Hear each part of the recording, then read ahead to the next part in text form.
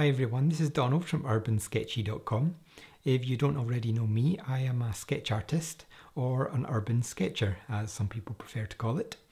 And in this video I'm going to be reviewing a book. This book in question, Everyday Sketching and Drawing by a Seattle based artist called Steven Reddy. So I'll take you on a flick through the book and tell you what I think. This is a book that is slightly bigger than A4, and you can see one of his detailed artworks. And in this book, he talks about his entire process of how he actually creates this from start to finish. So you can actually try and have a go in sketching in this way if you want to. He gives you uh, all the techniques that he uses. And on the back, there is some more of his really cool artworks. And there's a couple of quotes on the back as well here from Danny Gregory, the founder of Sketchbook School, and of course, one of the famous YouTubers. I'm sure you're familiar with him.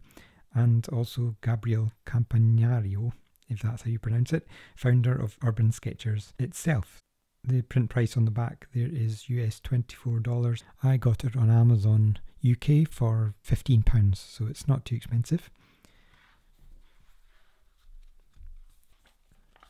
So you can see here one of his sketches in black and white uses technique using bottled India ink that he waters down. It's a fascinating technique, and I've had to go with it, and it's really quite a challenge. But he does explain how you go do the process, and you can see this. I think this is his studio, and he just sits and draws every single item detail in a kind of cartoony style, which is really quite similar to the way I like to draw. Not so much of a sketchy style, more of a solid line drawing style. There's some acknowledgements and then we get into the chapters themselves. So there's 10 chapters and then some final thoughts and an afterword by Stephanie Bauer, who is another well-known sketcher. So the foreword is written by Gary Faigin, who is the co-founder and artistic director of Gage Academy of Art in Seattle, Washington, which is where Steven Reddy teaches people how to draw exactly like this. So he's one of those artists who really does like to give back to people by teaching, and he also does a course online at Craftsy, which ties in really well with this book and his techniques. I really like the way that this book is laid out. It's got lots of big well printed pictures in it so you really can see the detail and that's what I think one of his strengths is the volume of detail that he draws in his sketches. You have to see it big. Some of the pictures are small but the ones that are printed big you, you can just appreciate how much effort and concentration has gone into sitting drawing all the things that normally we would just ignore. So in the introduction it's really talking about his students at the Gage Academy, and he was asking them why doesn't everybody draw all the time, and he can't understand because he's obsessed. He says he would rather draw than do anything else. I'd rather draw than finishing the sentence. He is completely obsessed. He literally draws every single day. I like how there's it shows pictures at different stages. So there's this one where he's just drawn the ink outlines and just look at the volume of detail, it's crazy. And then there's this one below it where he's showing you his India ink technique, where he's drawn something like this and then he's painted over it with a watered down India ink and then left it as a black and white picture. He's got lots of stuff about his background, how he came to become an artist, and how he got into drawing and sketching in sketchbooks as a kind of diary of his life. And he's actually got several self published books that are more like journals and they can be bought on Etsy. And here's one of the interesting about urban sketching is you would think urban sketching is cityscapes or drawing in a town or something, but here he is drawing a collection of shoes. He's got some shirts, a jumper. He, there's like nothing that he won't draw. He's just mad. He's completely obsessed. And here, this is one of the sections I really like. And it says drawing is a universal language that spans cultures, time, and age. I think that's great. He's really trying to encourage everyone, no matter their ability, and really saying that ability actually doesn't come into it. Everyone can draw. All you need to do is find the time to sit down and do it. And embracing mistakes is a big part of what he teaches.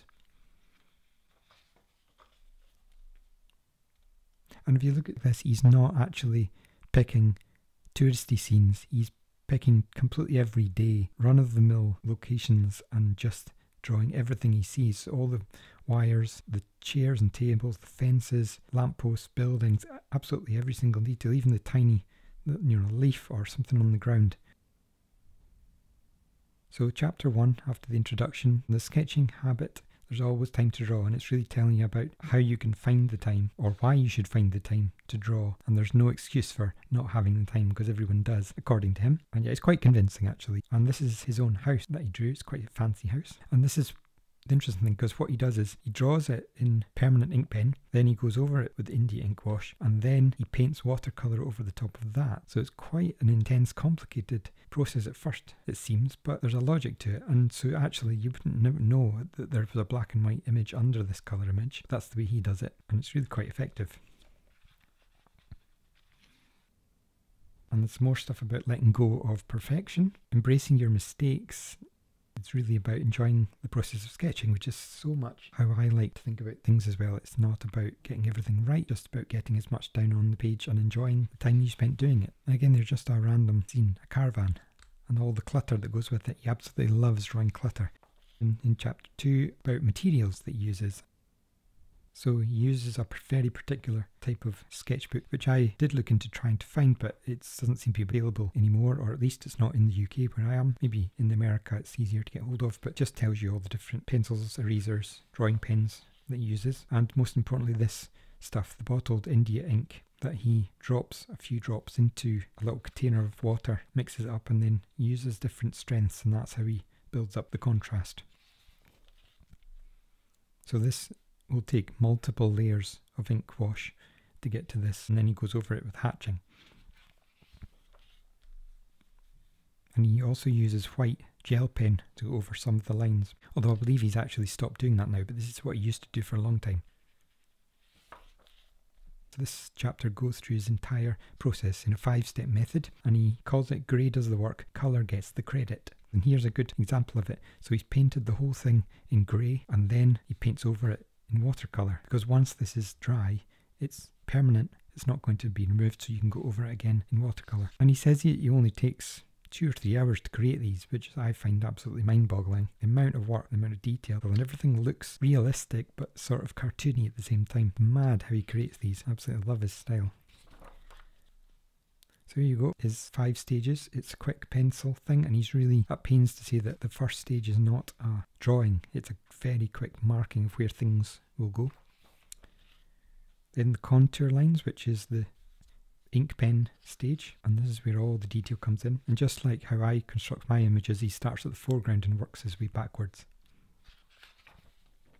Then stage three, which is tone and you can see here the different levels of shading that he uses. And if you're interested in learning this technique as well as in the book explains all, his Craftsy course. In fact, there's two courses on Craftsy that he does. These are fantastic. You can learn so much from them, and it ties into exactly to how he does the process here. He's got one that is a still life course, and another one which is in a coffee shop. If you've never looked at these, it's well worth going on to Craftsy. I'll put a link in the description. Then once he's done his ink stage, he goes over it in watercolour. And look at this, it's just, he's just picked a random spot in some industrial location and just drawn all of the buttons and bolts and everything else that he saw in front of him. It's just mind boggling. Where do you start with something like that? His last stage of each image is hatching, which is dashy lines that he adds in just to create extra shading and contrast. Then some stuff about still life and he goes through every stage of how to build it up. So it, it really is an instructional book as much as just showing off his work. There's some stuff about what to do if you are a bit uncomfortable sketching on location, and he's got some interesting advice like bringing a friend with you, or wearing earphones, or sit with your back to a wall so you don't have a person looking over your shoulder. Some good tips in there some stuff about how to choose your view when you're in a location. And, and this picture here, this is one of the ones that he does in his course online, uh, the book bar. It's really cool. And I did I did have a go at this scene, try, trying to draw what he draws, and it's much harder than it looks. I mean, it's it's rare actually to get a sketcher who gives away that much information, but he is a teacher, so that's what he wants to do. Nothing's a secret. Then some stuff about sketching on location, how to draw houses, how to choose subjects. This was the cover on one of his own self published books.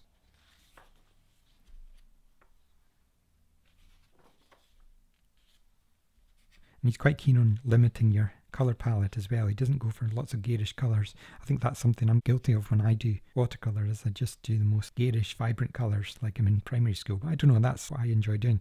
But he's got a very muted palette and it works well over the black and white. You get quite a grown-up feel to a cartoony image. And then chapter about clutter is great. You don't see that very often in a sketching book. And this is more about how he goes about constructing these crazy images. I mean, look at the volume of detail in there. So then there's a section on people sketching, which is not really something I do. I don't. I cannot draw people. Life drawing stuff, drawing faces, a few celebrity sketches in there. Some stuff about travel drawing, travel sketching, and then a few final thoughts, just encouraging you to draw often, make sketching a habit and get better with everyone. And then, as I mentioned earlier, there is a afterword by Stephanie Bauer, one of the other famous sketchers, and she also has a course on Craftsy as well, worth looking at. And there we are. That is Everyday Sketching and Drawing by Steven Reddy. I would highly recommend this book. I think it's very well made, it's very well printed. There's so much useful information. The sketches are brilliant, and yeah, I would highly recommend. I've got his Craftsy course, which will tie in brilliantly with the book itself. So that's that. If you would like to see more of Steven Reddy's work, you can visit his website as well, stevenreddy.com. And if you would like to check out more of my work, you can visit my website, urbansketchy.com, or of course, you can subscribe to see more of my sketches and sketching demos. Thanks so much for watching, and I will see you again next time.